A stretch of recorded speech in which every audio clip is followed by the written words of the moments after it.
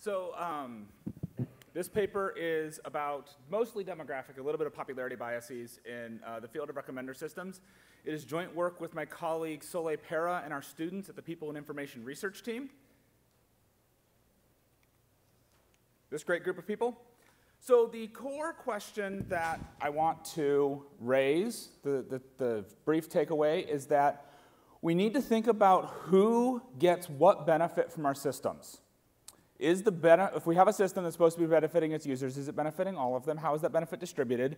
And when we go and we measure that, are we okay with the results? That's our primary normative claim in this paper. The rest is descriptive of going and diving in and how do we see that play out in recommender systems. So I want to provide a little bit of background first to explain what a recommender system is. I'm sure almost all of you, probably all of you, have interacted with them, but you may not be familiar with them as an object of study. So they show up all over the internet, and they're recommending news articles for us to click on, movies for us to watch. Um, your app store has a recommender that's showing you what apps you might want to buy. You, it's difficult to go to a modern website that is collecting any kind of data and not encounter one of these things somewhere. They're also fairly impactful. Tanya talked uh, earlier today about the impact that the movies we watch have on our view of the world, and some of that impact is mediated through the recommender showing us what movies we might want to watch. So we kind of have this compounding effect. And the, the best available public data is that Netflix, uh, about 85% of movie watching activity on Netflix is driven by the recommender.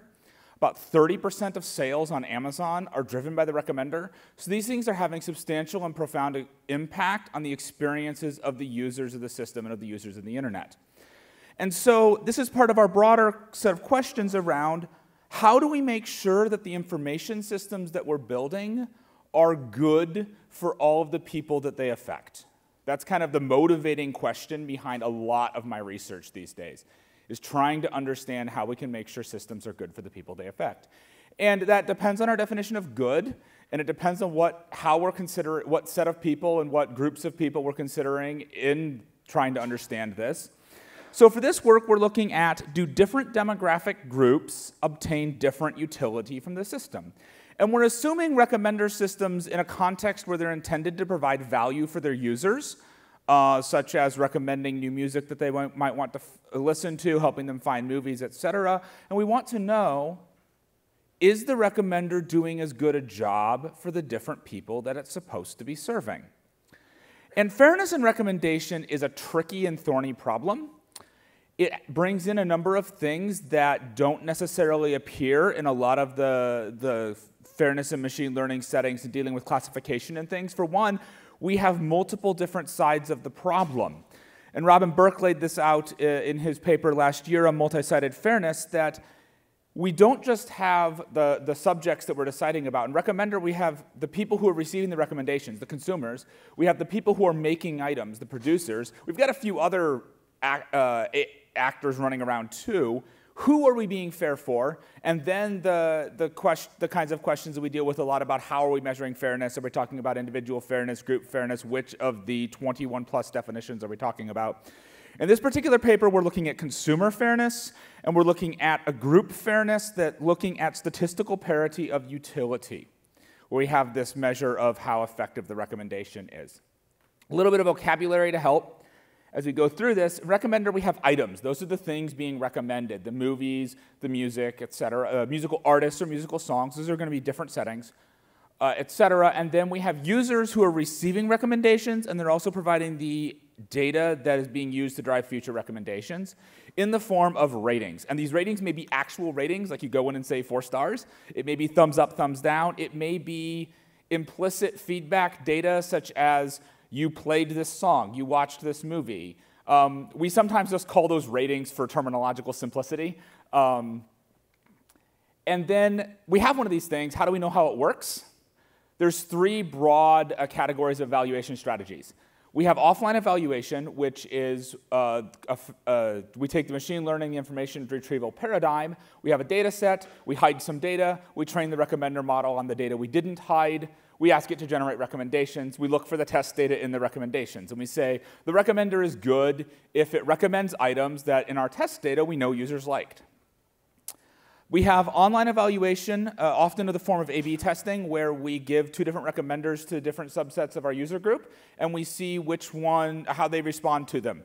Do users watch more movies with our proposed recommendation enhancement?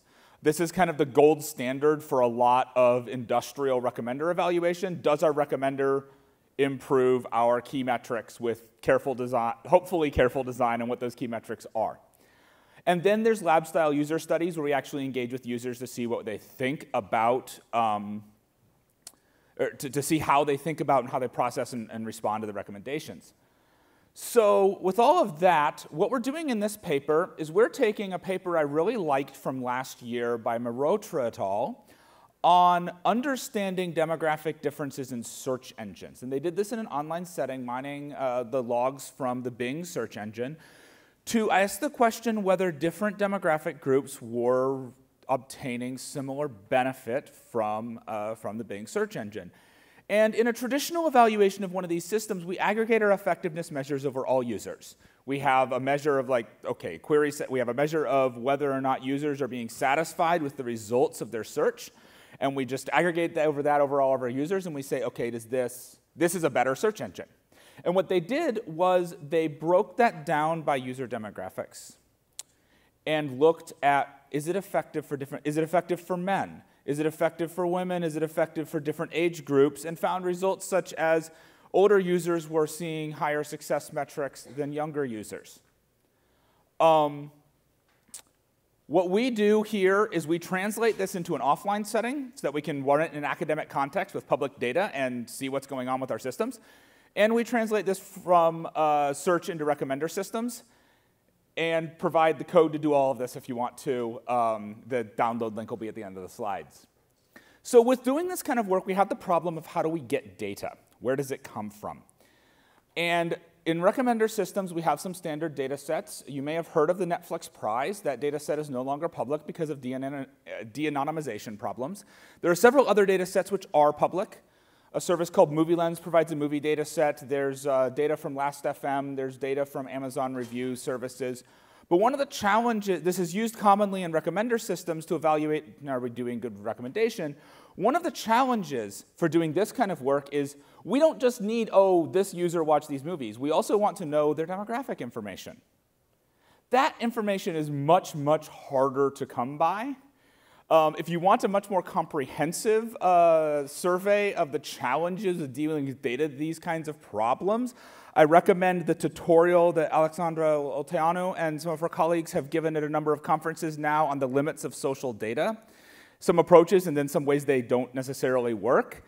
Um, some of the work I've seen in trying to do this space is doing various data enrichment techniques based on, say, computer vision techniques, and Joy showed us this morning why those things are kind of broken. We do, however, for recommender systems, have three public data sets that have self-reported user demographic information associated with them. So we used those. The MovieLens 1 million data set contains a million ratings from 6,000 users of movies. And then we have two data sets uh, from Last.fm, one of which has the top 50 artists along with play counts for uh, 360,000 users, and another much smaller data set of 1,000 users that has complete play histories. But each of these have uh, demographic data. They have a self-reported binary gender classification, and they have age. MovieLens has age brackets, and we just bracketed the Last.fm ages uh, to match the user, the MovieLens brackets for comparability. So you're going to take this data, and it looks about like this. So the, we see a significant gender imbalance. Uh, both data sets have substantially more male users than female users. We also see discrepancies in age, with Last.fm having uh, more, having the largest bulk of users in 18 to 24, and MovieLens being 25 to 34. I suspect that difference might be a lot of MovieLens users are probably graduate students who encountered it in a class. Um, so we have this, and we're going to use it to run an experiment. And the way we do this for an offline experiment is we take these consumption records, we split them into training and test data, we run them through the recommender, we generate recommendations, and then we compare those with, uh, with the test data. We're using a measure called normalized discounted cumulative gain, which roughly measures the fraction of possible utility that the recommendations achieved. So if we had a perfect recommender that found all the items the user liked, that's a one. And so we compute a fraction of how we, we compare our actual recommendations against that perfect recommender, and, and the result is a number in 0 to 1 of how much of that utility we've achieved. There are some significant problems with this, but solving those are out of scope for this particular work. So this is a fairly standard methodology. We're moving forward with it to see what, uh, what kinds of problem or what we see with this kind of analysis. We ran several algorithms through it, some, personal, some non-personalized algorithms like just recommend the most popular stuff. That's a recommender, a list of most popular movies.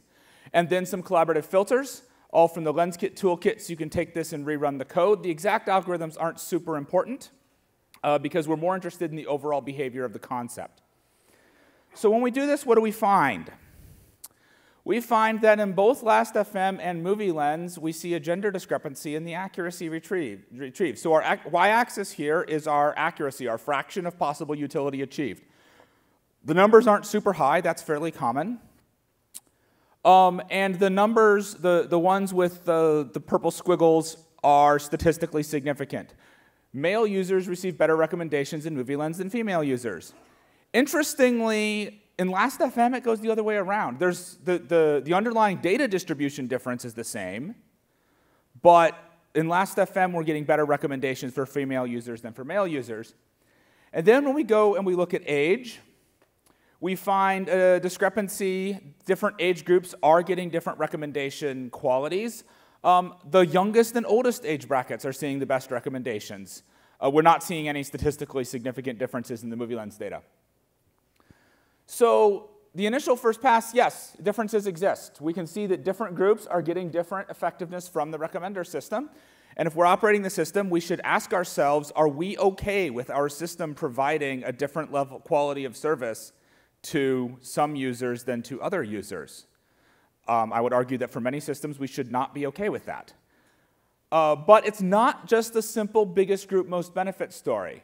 So you kind of expect, oh, the, most group, the biggest group, we have the most information about them. We're able to learn their preferences the best. They can get the best recommendations. No. Smaller groups are seeing, uh, in Last.fm particularly, we're seeing smaller groups get better recommendations. Um, what causes them? We so we have these differences. We detect the existence of the differences. And then there's different things we can do to try to tease out why they're happening and see uh, what, if we control for various things, they still show up. And so we went and we controlled for a couple of things. One, the profile size, and two, the number of users in the group. When we control for profile size, um, we can see,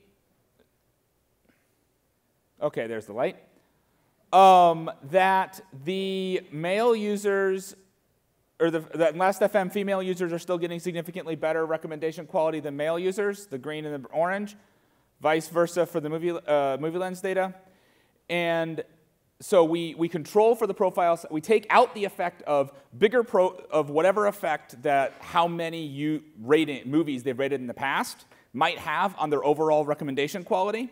And we say, oh, the difference persists after we control for that. We also rebalanced it. We resampled the data sets, to, uh, the MovieLens data set to produce one that had equal number of male and female users. The differences decrease some, but they, and they're no longer statistically significant, but they don't completely disappear. So we have the same number of users of both genders now, or both genders that we have classification for in this data set. That's one of the limitations of this study. Um, but we still see some difference, but it's smaller. We then went and uh, one of the problems with, um, with these evaluations is something called popularity bias, which means the, the evaluation protocol prefers recommenders that just recommend a lot of popular stuff. A way to we tried a way for correcting for that, and it just took that age discrepancy gap and just shifted it all over the place. It didn't change the other the gender distributions, but it just completely changed the age distribution results. Differences were there and they were completely different, which says when we correct for one problem, we change our picture for trying to identify another problem, and that is a problem. Some limitations, um, offline data provides a very limited picture. This is self-reported demographic data with a hard gender binary. This, we're not, we have not yet done an intersectional analysis. This is also fairly old data because we needed the data that we could get and we have a few algorithms, but the code is there. So if you have a favorite algorithm, you want to try it, go download the code and see what it does. Um, not all users experience the system in the same way, and we need to measure this. But also, different approaches are going to produce different uh, can bring contradictory pictures. And there's this whole field of what does it mean for recommendation to be fair is just getting started. We've had a conversation, uh, we had a, a, workshop on this, the FATREC workshop at RecSys last year. The next two papers you're going to see are extensions of work that appeared in that workshop. Um, we have a fairness and user modeling and adaptive personalization workshop coming up uh, this year. There's a lot of impact here, and it's a lot of thorny and interesting problems to try to solve, and I'm happy to take any questions.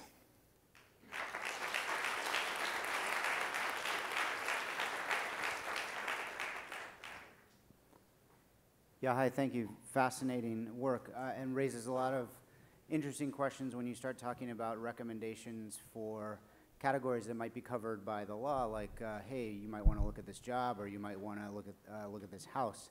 I, I just a quick question, I might have missed this, but can you just say a little bit more about how you made the decision for whether a recommendation was a good recommendation or, or not, whether it was a successful recommendation?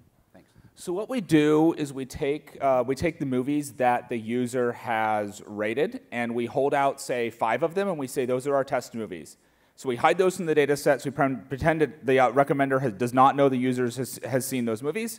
We then uh, train the recommender, and we then see if it recommended those five movies. And if it did, um, well, anytime one of those five movies shows up in the recommendation list, we say, hey, that was a good recommendation. We know that's a movie the user liked. Um, there are some problems with this, particularly around uh, what happens with user movies the user would like but didn't know about, the exact ones that we would like the recommender to help them find. Um, that is a big problem, the extent of which one of my graduate students is currently working on trying to measure. Hi, thank you for the great talk and great work. Uh, so my question was basically uh, that uh, the way you define fairness is that the accuracy of your recommendation should be, let's say, equally accurate for the two demographic groups, if there are two.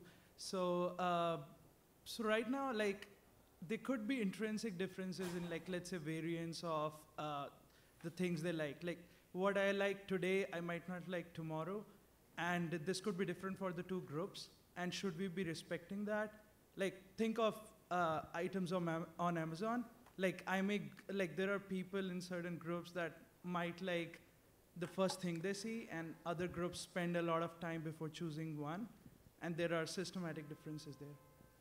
So that's a really good question. Thank you. Um, the, the Mehrotra paper did a lot of work with causal inference to try to, to control for many of those kinds of, of differences. And we have not gone that deep uh, in this particular work, but I think what we need to do there is go do the work with, particularly with causal inference, to try to understand what those causes are, and then we have to make a value judgment about whether this cause or that cause is something we should try to correct for.